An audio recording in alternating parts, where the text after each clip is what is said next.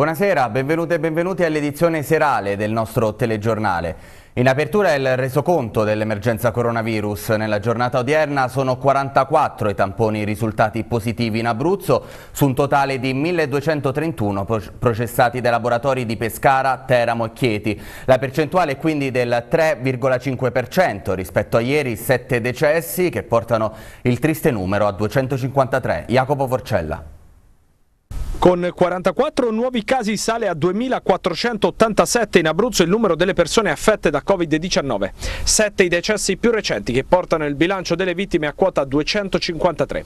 I nuovi casi, accertati con i test eseguiti dal laboratorio di riferimento regionale di Pescara, dall'Istituto Zooprofilattico di Teramo e dall'Università di Chieti, sono emersi dall'analisi di 1.231 tamponi. È risultato positivo dunque il 3,5% dei campioni. Ieri i positivi erano stati 90 47 su un totale di 1113 tamponi, 8,7%. Nel numero dei casi positivi sono compresi anche i 253 pazienti deceduti, più 7 rispetto a ieri. 263 sono i guariti, più 8 rispetto a ieri, di cui 177 che da sintomatici con manifestazioni cliniche associate al Covid-19 sono diventati asintomatici e 86 che hanno risolto i sintomi dell'infezione e sono risultati negativi in due test consecutivi.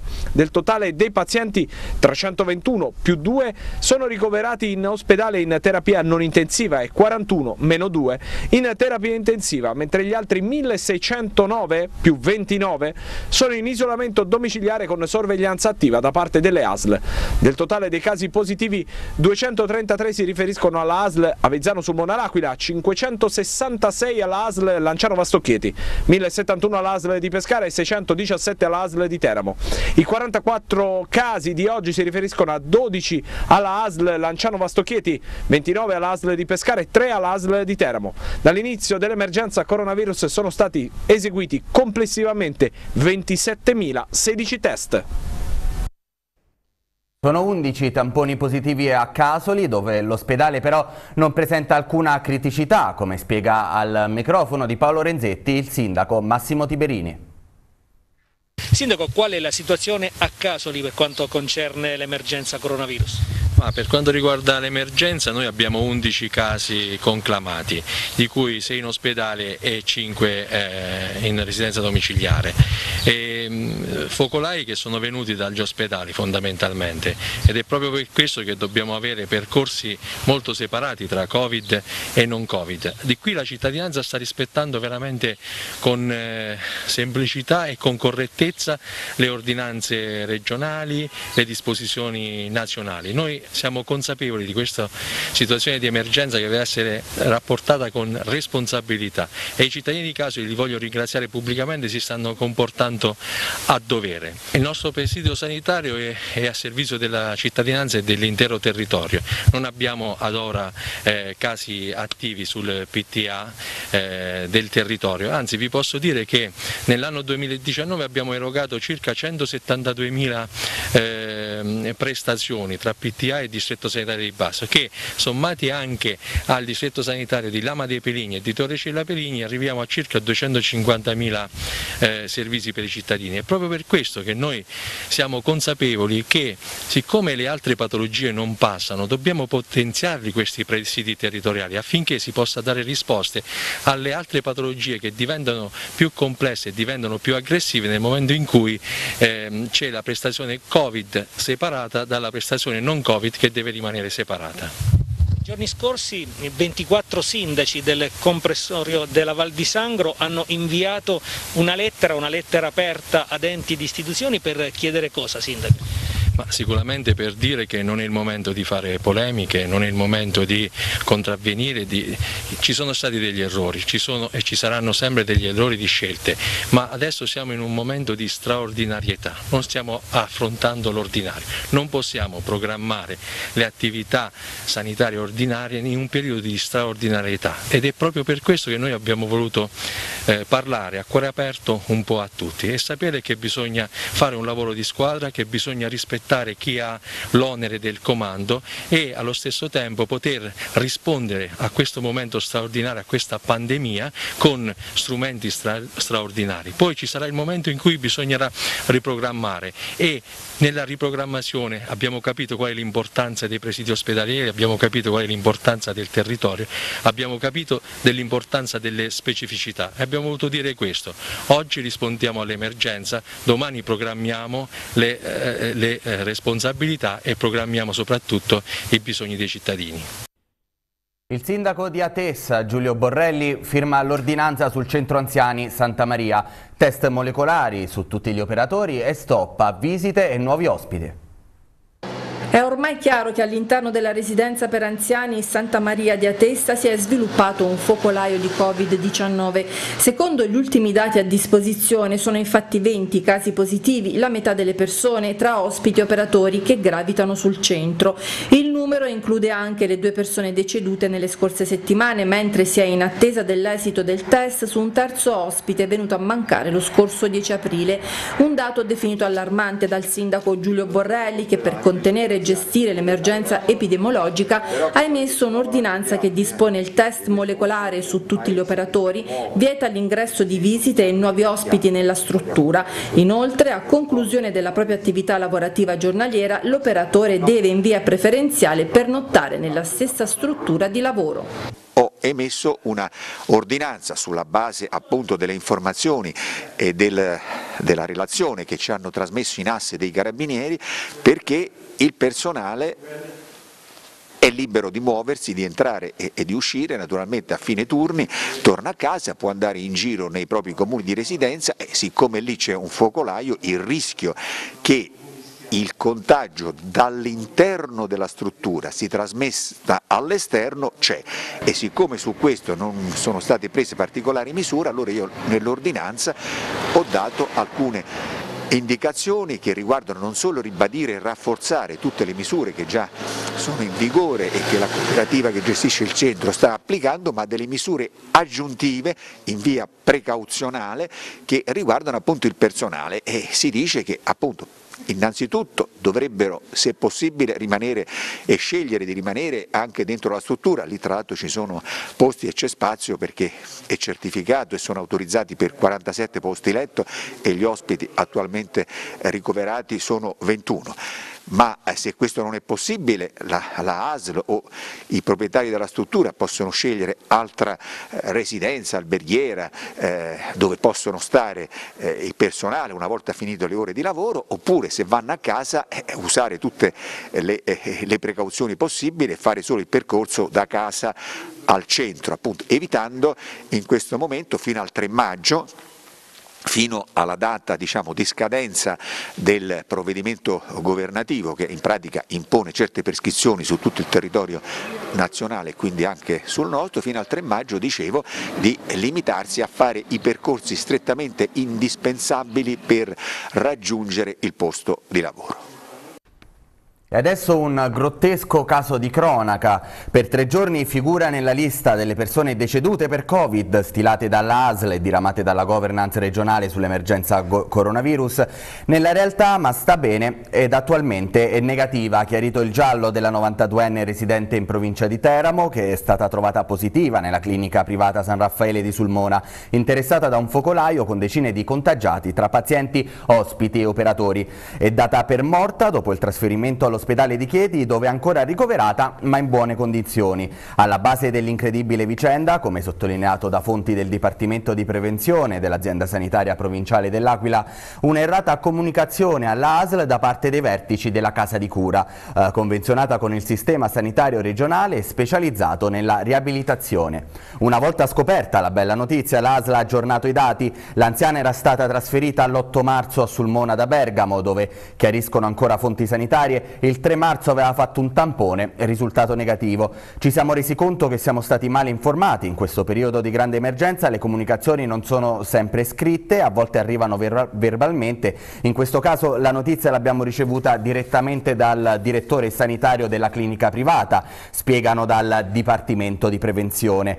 Ci ehm, Uh, ci dispiace per il disguido, continua appunto il Dipartimento di Protezione, uh, di Prevenzione, ci dispiace per il disguido, siamo felici per l'anziana, per una volta c'è un lieto fine in questa autentica battaglia giornaliera contro il coronavirus. Ma adesso cambiamo argomento, una governance nuova dovendo partire da zero, risponde così alle critiche arrivate negli ultimi giorni sulla gestione dell'emergenza da parte della sanità abruzzese il referente regionale, eh, dottor Alberto Albani. Vediamo il servizio. Abbiamo messo a punto una governance del sistema partendo praticamente da zero, non esistevano di fatto procedure già codificate, oggi però a quasi due mesi dall'inizio dell'emergenza credo sia importante tracciare un piccolo bilancio. A parlare il dottor Alberto Albani, referente regionale per le maxi emergenze sanitarie che da fine gennaio sta guidando la task force regionale sul Covid-19. Capisco che la situazione contingente possa portare ad avere una certa percezione della realtà dice Albani, ma è opportuno ricordare che la Regione è intervenuta tempestivamente con specifiche ordinanze su molteplici fronti che si sono aperti in queste settimane, a partire dalla sospensione delle attività ambulatoriali e di tutte le prestazioni sanitarie non urgenti e poi anche e soprattutto l'individuazione e l'allestimento dei presidi ospedalieri dedicati alla gestione dei pazienti contagiati. Dall'inizio dell'emergenza ad oggi le aziende sanitarie hanno ricevuto 16.520 mascherine mascherine FFP3, 214.380 FFP2, 261.017 mascherine chirurgiche, 111.400 guanti, 46.700 cuffie, 7.340 tute, 127.700 calzari, 6.643 occhiali, 4.086 camici, 1.250 termometri, 2.050 visiere, 144.000 litri di gel gel igienizzante e poi ancora 44 ventilatori e 323 monitor. Questo per ribadire, conclude Albani, che il sistema Abruzzo c'è ed è efficiente e ne fanno parte tanti validi professionisti in campo per combattere il Covid-19. Alle polemiche di questi giorni e di queste ore risponde anche l'assessore alla sanità Nicoletta Veri. Fortunatamente le critiche strumentali, dice l'assessore, non hanno il potere di modificare i risultati concreti che ogni giorno raggiungiamo nella gestione della pandemia. Verino nega che ci siano state delle falle, ma dice non si può accusare la Giunta se in alcuni ospedali, specie nella fase acuta dell'aumento dei positivi, si siano registrati contagi in diversi reparti. È un attacco odioso, continua la Verì, perché tutti ormai sanno che non c'è alcuna certezza che un ricoverato senza sintomi che arrivi in ospedale in urgenza sia negativo al virus. Giocano un ruolo importante le informazioni fornite dallo stesso e dai suoi suoi accompagnatori al momento dell'accettazione. Forse chi ci critica non si è accorto che gli ospedali abruzzesi non sono chiusi, continua Laveri, e che continuano a ricoverare centinaia di persone ogni giorno per patologie diverse dal Covid. Lo stesso fanno le strutture residenziali assistenziali e sociosanitarie, per le quali sono state rafforzate misure di sicurezza sanitaria e relativi controlli. Sulla questione dei tamponi, Veri ha precisato che ogni giorno si è spiegato il perché non tutti i tamponi vengano processati processati con la stessa tempistica e chiarito perché si è scelto di individuare alcuni ospedali Covid e non altri, le ragioni della realizzazione dei nuovi Covid Hospital per la fase 2 e si sta cercando di risolvere anche la questione delle indennità aggiuntive del personale sanitario. Un tentativo di deregulation a beneficio dei privati. L'accordo con le cliniche è pieno di criticità e va immediatamente rimodulato. E questo il duro attacco sferrato dal sindacato dei medici Anao Abruzzo all'assessore regionale alla sanità Nicoletta Veria alla maggioranza di centrodestra che governa la regione in merito all'ordinanza del presidente della giunta regionale Marco Marsiglio di Fratelli d'Italia con la quale si nomina il coinvolgimento della sanità privata nell'emergenza coronavirus. Noi abbiamo intervistato il segretario aziendale dell'Aquila, eh, Loreto Lombardi. Noi diamo inizio con questo a una deregulation del sistema che poi può, uh, può, non essere eh, controllabile più nel futuro, cioè nel senso che mh, togliere o eliminare anche temporaneamente alcune regole possono poi queste regole rimanere nel tempo come spesso succede in Italia. Per Loreto Lombardi, medico dirigente dell'ospedale dell'Aquila e rappresentante della NAO Assomed, l'accordo che la Regione ha messo in piedi con la sanità privata abruzzese è un vero e proprio salvataggio dei privati. La NAO infatti contesta duramente l'intesa e mette in discussione anche il fatto che il coordinamento delle iniziative e del quadro organizzativo delle prestazioni sia riservato al referente sanitario regionale per le maxi emergenze, cioè Alberto Albani, primario del pronto soccorso di Pescara. L'accordo è stato fatto eh, senza eh, né sentire i direttori generali le eh, direzioni strategiche, quindi è calato dall'alto. Eh, venerdì scorso è stata mandata una lettera ai direttori eh, in cui dovevano nominare eh, la persona che avrebbe firmato questo accordo.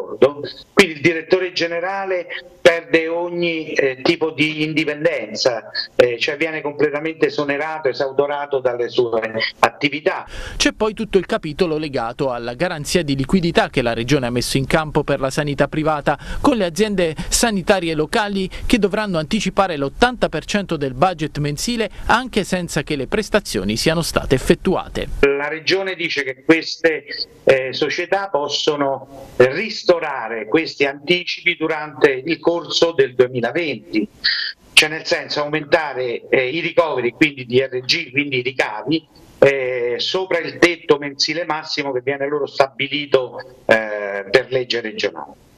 Eh, il discorso è questo, è che mantenendo gli stessi posti letto, lo stesso personale, come faranno le case di cura ad aumentare i DRG?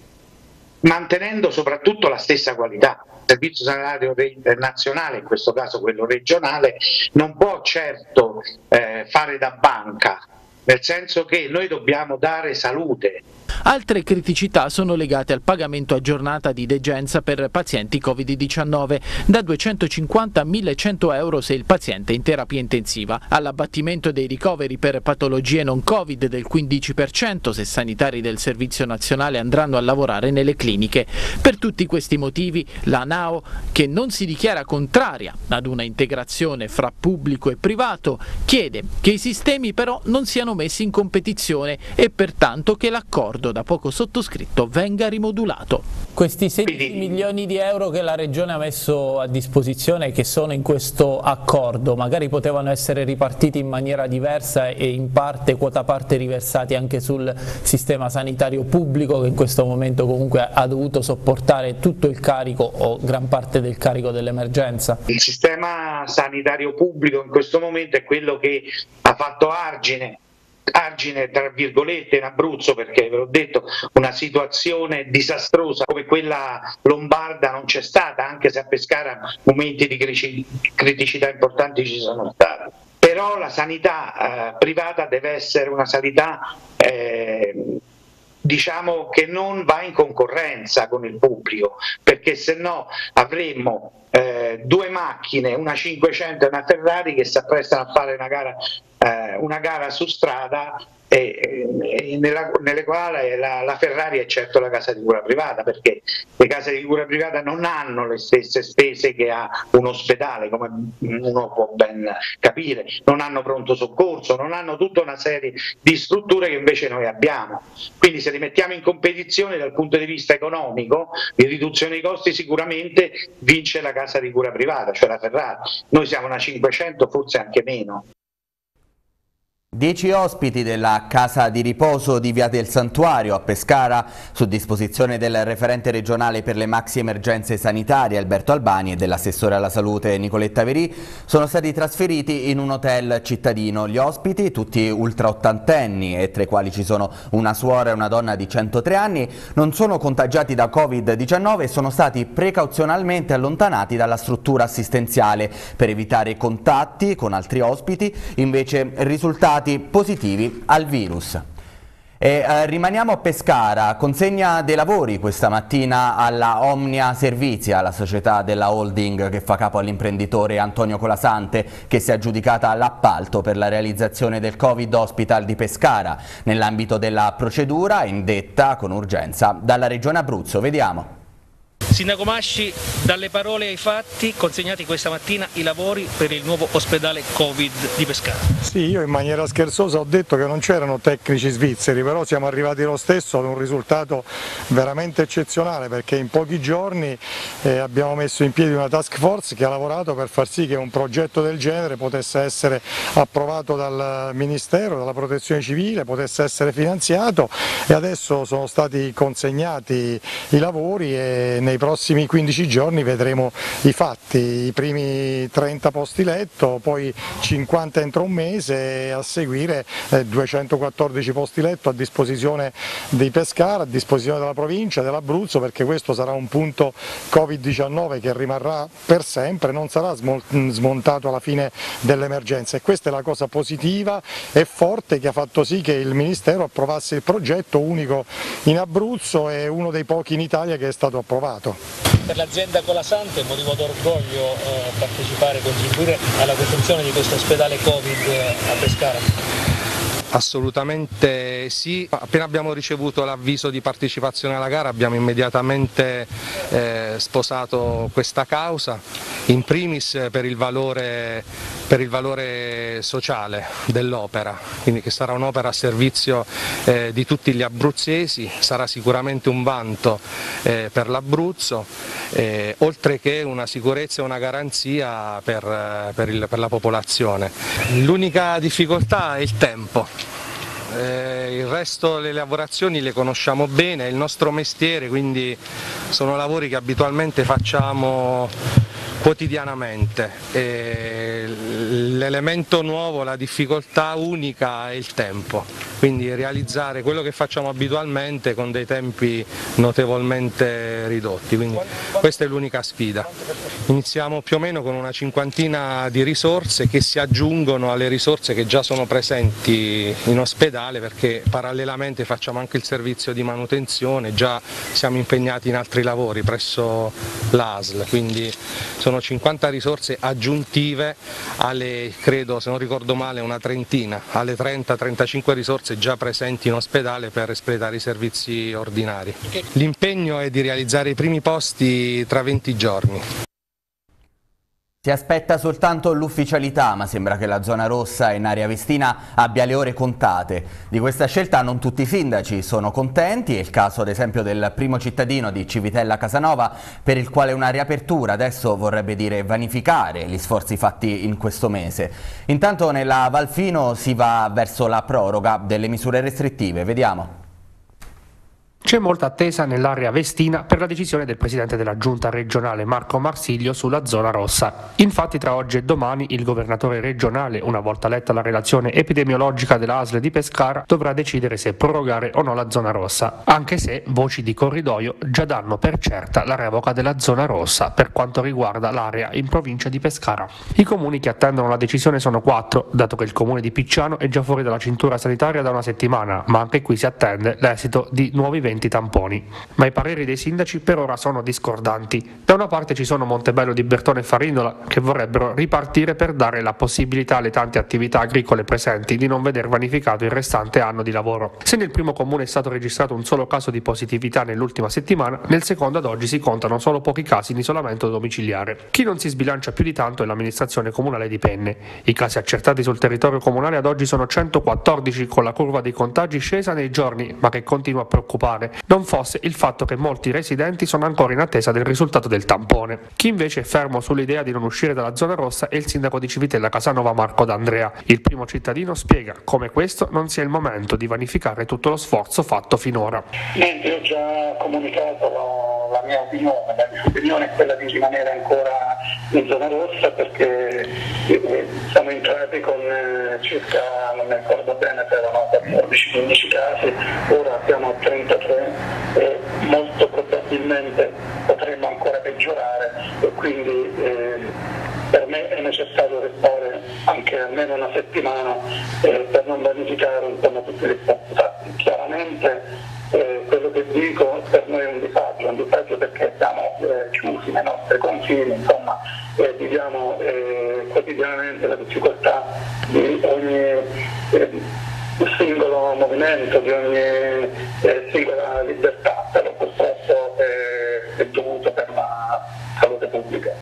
Al momento si resta in attesa, così come si resta ancora in attesa per l'avvio dei tamponi alla popolazione. Ma adesso l'unica parola che esce dal coro in maniera unanime è sostegno. Un sostegno da parte della Regione e dello Stato per cercare in qualche modo di far ripartire tutta la macchina economica e sociale dell'area. Discorso diverso per la Valfino, dove si va verso una nuova proroga della zona rossa. Ancora cronaca, un uomo di 47 anni è stato eh, rinvenuto nel pomeriggio senza vita all'interno di un'abitazione in via Ringa a Penne. Il 47enne non rispondeva al telefono e così sul posto sono arrivati i vigili del fuoco che sono entrati in casa trovando il corpo senza vita dell'uomo. Sul posto anche i sanitari del 118 che hanno potuto solo constatare il decesso dell'uomo, sul posto i carabinieri della eh, locale compagnia che stanno ricostruendo l'accaduto. Sul corpo ad un primo esame non sarebbero presenti segni di violenza ma per il momento non si esclude nessuna ipotesi. È stato pubblicato sui siti della Presidenza del Consiglio e del Ministero della Salute il bando per identificare l'azienda che fornirà al governo il kit per i test sierologici. C'è tempo fino al 22 aprile per partecipare alla gara. Il 29 sarà sottoscritto il contratto di fornitura. I risultati dei test sierologici e l'utilizzo di una app per il cosiddetto contact tracing rappresentano due passaggi essenziali per la definizione della fase 2, cioè quella nella quale il governo procederà all'allentamento delle misure del lockdown e alla ripresa graduale di alcune attività. Proprio questa mattina il commissario per l'emergenza coronavirus, Domenico Arcuri, ha sottoscritto e pubblicato il bando che mette a gara con procedura semplificata e di massima urgenza l'acquisto di kit, reagenti e consumabili per l'indagine sulla diffusione della malattia da da Covid in Italia. Tutte le aziende che hanno approntato kit per gli esami sierologici sono invitate dunque a partecipare al bando e avranno tempo da oggi fino al 22 aprile per presentare la propria offerta in formato PDF all'indirizzo PEC presente sul bando pubblicato sui siti della Presidenza del Consiglio dei Ministri e del Ministero della Salute. Già il 29 di aprile il commissario sottoscriverà il contratto di fornitura con l'azienda vincitrice sulla base della scelta di un'apposita commissione esaminatrice all'interno della quale ci saranno tra gli altri due componenti designati dal Comitato Tecnico Scientifico. Tra i requisiti principali, come ripetuto dagli esperti in questi giorni, c'è la necessità che i test abbiano un elevatissimo livello di sensibilità e specificità, tali da abbattere in maniera decisa il rischio di definire falsi positivi e falsi negativi. Il test sierologico verifica se nel sangue della persona sono presenti quegli anticorpi che il sistema immunitario ha dovuto sviluppare per difendersi e poi sopraffare il virus e i margini di errore vanno ridotti. Va detto che il kit che sarà utilizzato tramite questo bando servirà per sviluppare una indagine epidemiologica e quindi avere il quadro della diffusione nella popolazione del SARS-CoV-2 basandosi su un campione di 150.000 persone selezionato con l'ausilio di Istat in tutto il paese e diversificato per genere e sei fasce di età. Una gara che invece si è già conclusa è quella della app di contact tracing, ovvero di localizzazione dei contagi. Se le aggiudicato una società di Milano, la Bending Spoons. Il nome dell'applicazione è Immuni e risponde ai requisiti fissati, la volontarietà, la riservatezza dei dati e l'utilizzo di tecnologia Bluetooth. Segnalerà alle persone se nei giorni precedenti è stata a contatto o nelle strette vicinanze di un individuo che poi è stato diagnosticato Covid positivo. In attesa che venga testata in alcune regioni è già chiaro che la app sarà efficace solo se sarà scaricata sugli smartphone del 60% degli italiani. È al centro del dibattito pubblico in questi giorni la cosiddetta fase 2, la fase della ripartenza, ma intanto il coronavirus continua a provocare danni anche all'economia. Tra i settori più colpiti in Abruzzo quello del vino. Il vino appresta i cuori e alla passione li fa più pronti. Così scriveva il sulmonese Ovidio oltre 2000 anni fa. La tradizione vinicola abruzzese è antica e invidiata, ma oggi trema davanti al coronavirus. Il settore del vino, infatti, in Abruzzo è uno dei maggiormente colpiti dall'emergenza sanitaria. A pesare sulla mancata vendita del vino, la chiusura forzata di alberghi, agriturismi, bar e ristoranti in Italia e all'estero, una dura prova per le oltre 18.000 aziende abruzzesi. L'Abruzzo produce ogni anno 4 milioni e mezzo di quintali di uva e oltre 3 milioni di ettolitri di vino. Nel 2019 l'export era cresciuto di oltre il 2% per un valore di quasi 200 milioni di euro, ma ad oggi risultano cancellazioni degli ordini anche del 100%. I dati di Cantina Italia, pubblicati settimanalmente dall'ICQRF, mostrano con evidenza che il trend delle giacenze di cantina da un mese a questa parte deve destare allarme. A rischio il ciclo produttivo produttivo del vino se i viticoltori non riusciranno a far fronte alle spese. È per questo che Coldiretti chiede misure urgenti, tra cui immissione di liquidità sotto forma di prestiti a lunga scadenza a tasso zero garantiti dallo Stato. Come mai prima della nostra storia recente, la vitivinicoltura abruzzese ha bisogno che il proprio assessorato gli tenda la mano. È necessario pertanto un piano salvavigneti che permetta ai nostri agricoltori che continuano quotidianamente a lavorare alla produzione della prossima campagna campagna ormai imminente di avere la garanzia di un reddito dignitoso. Tra le misure chieste da Coldiretti anche la vendemmia verde, ovvero una sorta di freno ecosostenibile alla coltivazione intensiva, così da evitare un eccesso dell'offerta. E poi la distillazione volontaria, col fine di produrre alcol disinfettante per usi sanitari. Misure quali vendemmia verde o distillazione volontaria devono essere colte in quanto sono un'opportunità. Vanno indubbiamente riscritte le regole del gioco per evitare delle speculazioni e delle tensioni sui prezzi a ribasso che andrebbero a danneggiare una situazione già gravemente compromessa. E ora lo sport, dopo la redazione del protocollo da parte del Comitato Medico Scientifico della Federcalcio, il presidente del Pescara, Daniele Sebastiani, torna a parlare dell'eventuale ripresa dell'attività agonistica con un'intervista al sito Tutto Mercato Web. Per i club di Serie B, dice il massimo dirigente biancazzurro, non sarà facile rispettarne le prescrizioni. Ascoltiamolo. In Serie B c'è già chi muove i primi passi verso il ritorno in campo. Il Frosinone del presidente Stirpe ha fatto sapere con comunicato ufficiale che in ossequio alle prescrizioni del DPCM del 10 aprile le attività della prima squadra riprenderanno da lunedì 4 maggio, salvo diverse indicazioni. In settimana il Comitato Medico Scientifico della Federcalcio ha stilato un protocollo che fissa le linee guida per la ripresa degli allenamenti e dell'attività agonistica, una versione ancora modificabile a seguito di eventuali osservazioni prima della sua sua finalizzazione e consegna ai ministri della salute e dello sport. Intanto molti presidenti e dirigenti continuano a interrogarsi sulla fattibilità di esecuzione del protocollo, soprattutto per molti club professionistici non di Serie A. Da un lato la voglia ma anche la necessità di tornare in campo, dall'altra la convinzione che la salute viene prima di tutto. Il presidente del Pescara Daniele Sebastiani sabato scorso aveva detto chiaramente vogliamo tornare in campo solo se saremo in condizioni di sicurezza ed in una recente intervista al sito Tutto Mercato Web è tornato sull'argomento e sul protocollo che, dice Sebastiani, dal punto di vista medico non fa una grinza, è giustissimo ed è stato fatto da personalità importanti che sanno che quarantena e distanziamento sono l'unico modo per evitare contagi, ma è di difficile applicazione. Noi della Serie B dovremmo organizzarci, nessuna società credo abbia un centro sportivo con stanze interne, vanno trovati alberghi nelle vicinanze adibiti solo ad ospitare tesserati e staff. Anche i lavoratori dell'albergo l'albergo stesso, prosegue Sebastiani, e penso a cuochi ma anche a personale vario, dovrebbero rimanere sempre all'interno della struttura. Credo sia difficile obbligare persone a rimanere lì notte e giorno per 60 giorni. Ci adegueremo ma dovremo capire come sono i tempi e se non ci sono scadenze perché il problema vero è questo, capire se si possono allungare contratti e prestiti. Di chiarezza ne è stata fatta poca. Io ho sempre ragionato da sistema, mai per i fatti miei fa notare il massimo dirigente del Pescara. Noi siamo tra le poche realtà che possono permettersi una struttura vicina al centro sportivo, dato che ho una proprietà lì accanto. In Serie B, conclude Sebastiani, si trova molta difficoltà di fronte a una situazione così. E mentre la Federcalcio fa il possibile per la ripresa dei campionati professionistici di Serie A, B e C, ha dovuto alzare bandiera bianca per i campionati giovanili e ha disposto la sospensione definitiva del campionato Berretti, del campionato primavera femminile e dei campionati organizzati dal settore giovanile scolastico, dagli under 18 18 agli under 13. E questa era l'ultima notizia, tutti quanti i servizi che avete appena visto li potete recuperare online sul nostro canale YouTube e sul sito www.tv6.it. Il TG6 torna alle ore 23, grazie e buon proseguimento.